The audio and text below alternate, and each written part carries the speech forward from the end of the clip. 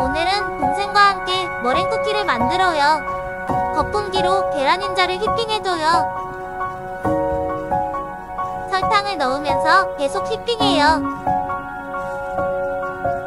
색깔이 하얗게 변했어요. 하얗고 달콤한 머랭이 완성됐어요. 머랭에 알록달록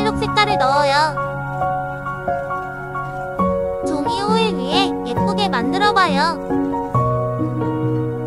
예쁜 내 얼굴도 만들었고요. 과자를 넣어서 장식해요. 오븐에 구웠더니 예쁜 머랭쿠가 되었어요.